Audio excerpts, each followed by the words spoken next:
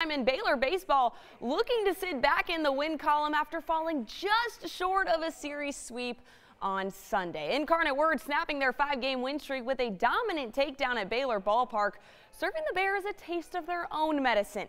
And while the game against Dallas Baptist canceled due to weather, the Bears now turn their eyes to another conference matchup. Baylor sitting at 2 and 2 in Big 12 series play this season, facing a BYU squad who just took down the Longhorns in Austin. But the Bears, well, they're building lots of confidence at the dish, racking in 29 total runs in just three games. And while they're hoping to bring that same spark to Provo. You know, I mean, we've got five, six guys in the lineup now hitting over 300, so they're consistently raising, you know, their performance, and and that's good. That helps us. We've got to score. We've got to score to win. You know, uh, pitching can do great things, but if you don't score, you don't win. And so. Uh, uh, our magic number has always been about six or seven. If we can get to six or seven, we're going to be in pretty good shape. Game one first pitch against BYU Thursday night at 6 p.m.